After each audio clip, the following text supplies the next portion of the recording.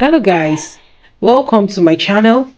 In today's video i'll be showing us how to make this beautiful cape sleeve. Now this sleeve can be attached by tacking on the dress or it can be a detachable sleeve like you fix a press button at the shoulder seam here and this point and also at the back to make to keep it in place. So if this is something you would like to learn keep watching and do not forget to like share and subscribe to, to my channel and click on the notification bell so you get notified when i post a new video. Let's go straight into today's tutorial. My paper is um, already cut out. This is 30 on the long side by 15 so just cut or you can just do 15 by 15 on fold hmm? so next thing i'll do is to get my shoulder seam how how far do you want your shoulder seam to be? I want mine to be three inches. So i marked three inches. My shoulder seam is three inches.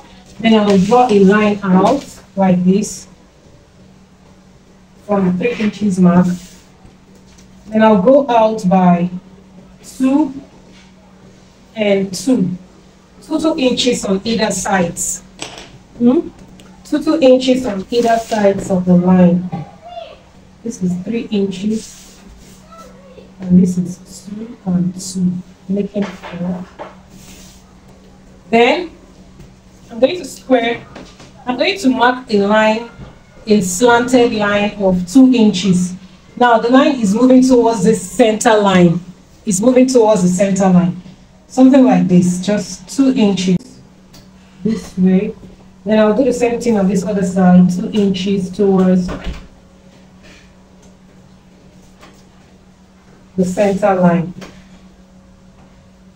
Connect. I'll connect this point to the end of my paper here,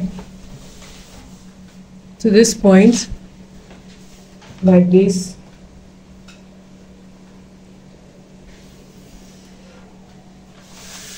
and I'll also do the same thing on this other side.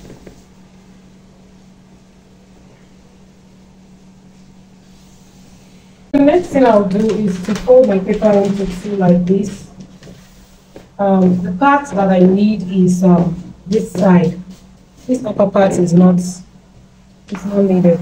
But if you watch if you look at the um, the picture, you notice that the sleeve is kind of curved around this side, is curved. So I'm going to try to, to make a curved shape using my free hand. If you, I don't know, using, okay, before doing that, let me just measure what I want. This part is going to be at your upper arm.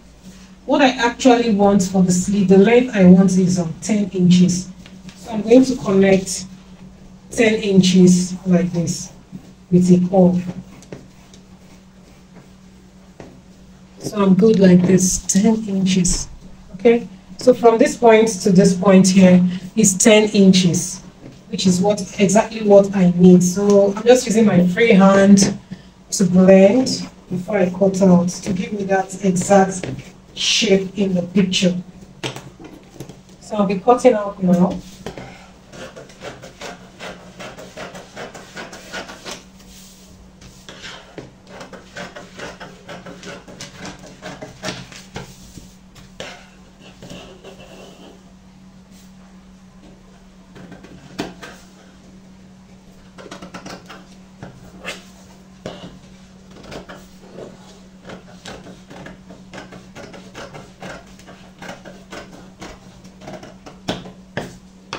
Okay, so this is what it looks like right now. This is what it looks like. So this is exactly what I'm going to cut on my fabric. I'll cut the fabric that will be showing outside, the lining. I'm using a lace fabric, so it's going to have an underlining, then a lining, and interfacing. So I'm going to be cutting like four different fabrics. The lace, the underlining, the interfacing, and the lining. My pattern is on my fabric. This is a light, um, shining scuba fabric. I'll be adding I've already pinned it. So I just add half inch um, seam allowance in this area.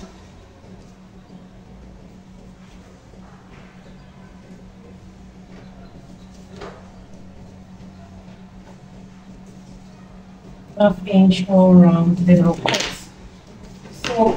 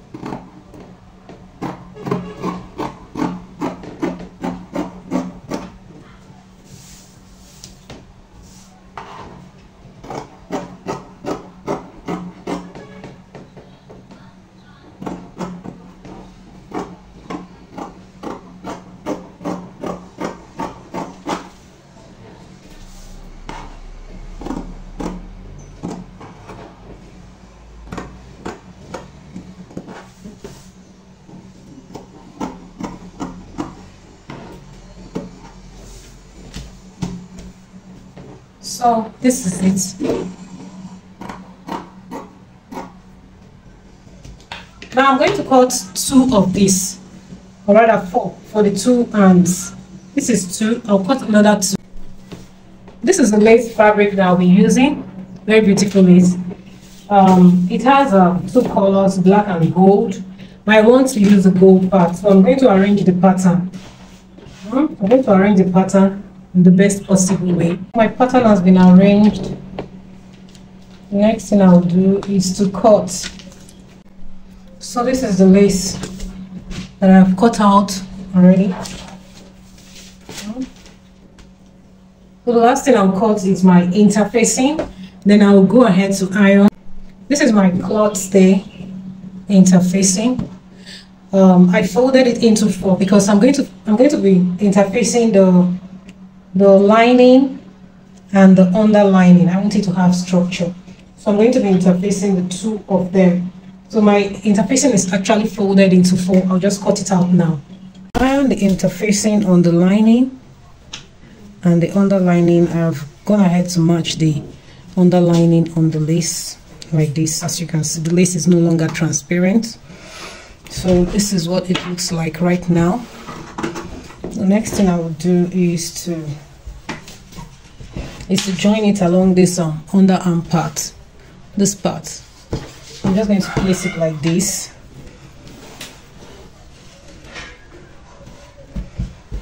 Like this. Then I'll sew. I'll run a stitch completely from up down for each of the the cape sleeve. I'll do it on the two of them. Then for the lining piece, all I will do is um, what I'll do is I'll sew to like that's it um, four inches, then leave like two inches opening, then continue sewing. Now the reason for the opening is so that I can, by the time I'm done sewing all of them together, I'll be able to bring out the front from that um, two inch opening so that everything will look neat. I want it to look very neat. So i'm just going to run four inches leave two inches then continue sewing. On the lining piece only. For the main fabric i will sew all the way all the way from up all the way from up down. I have sewn all of them. Like i said i left i left an opening here two inches I've sewn all the front sleeve. That's the front um, part of the sleeve, of the cape sleeve. I have gone ahead to sew this part. This is what it looks like right now. This is what it looks like. So the last thing I'll do is to open up the pieces like this, front facing front just like this then I'll run a stitch round round all of them front facing front like this. I'll just run a stitch round hmm? all around all around all of them. I've gone ahead to sew it all around please ensure that you match this um, same line this line with the lining. They should be on the same line like this. So the next thing I'll do is to notch. I'm going to notch all round like this all round.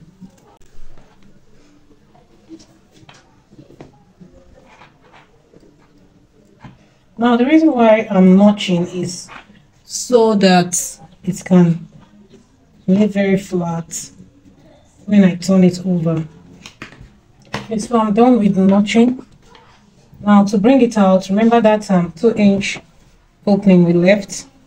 I'll just bring it out from there.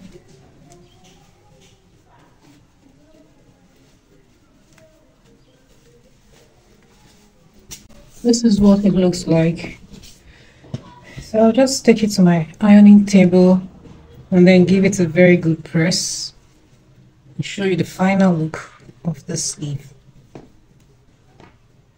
here's the inside. I'll use my um hand needle to finish up this side using um, um invisible stitch. Or you can just um place your hemming tape in between iron it down. Whatever way you think you can finish up this part finish it up neatly. Then I'll iron it very flat.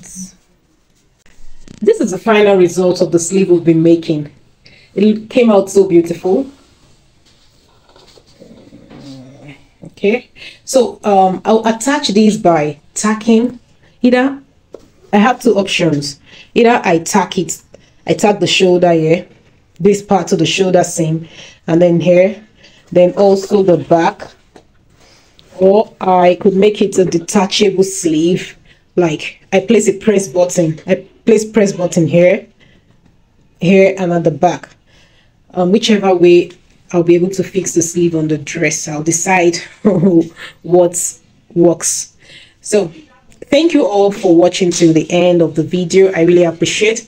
Do not forget to like, share and subscribe to my channel and click on the notification bell so you get notified when I post a new video. Bye.